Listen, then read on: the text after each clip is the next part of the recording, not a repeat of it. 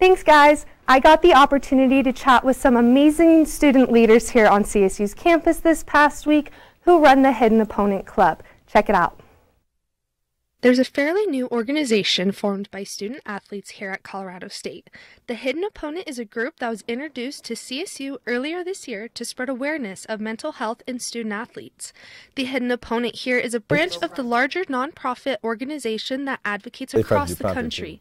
Maggie Smith, a senior and former track and field athlete, is the president while also being the individual who registered this branch at CSU.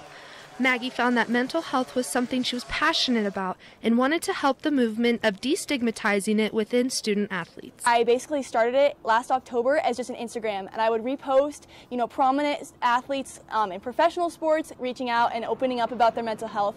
I would also post peer-reviewed journal articles about mental health to increase education, become a registered student organization recognized by SLICE and the university um, as a group dedicated to increasing mental health awareness for athletics. Alongside Maggie is financial financial officer and junior swim and dive athlete Megan Hager, who has been newly recruited to join the group and works very hard in finding ways to create funding. The biggest struggle in having, like, no funding, obviously, is finding events and speakers that we can afford. Yeah. So that's why we're starting with the health network and trying to get the, all the in-house stuff that we can. Aside from having difficulty producing funds, the Hidden Opponent is looking to expand their group to continue the support and education of mental health, not only in athletes, but in the CSU community as a whole. The Hidden Opponent's for everybody, and it's a place where you can come in and regardless of your sports participation, past, current, planning on future participation, really anybody. Um, we're just here to support each other,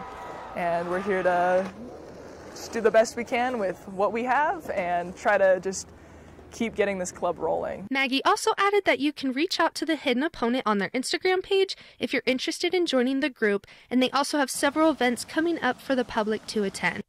The Hidden Opponent will be teaming up with CSU's Health Network this coming Sunday at 2 p.m. in Bob Davis Hall to host a suicide prevention training as they continue to try and better the stigmatism around mental health in athletics.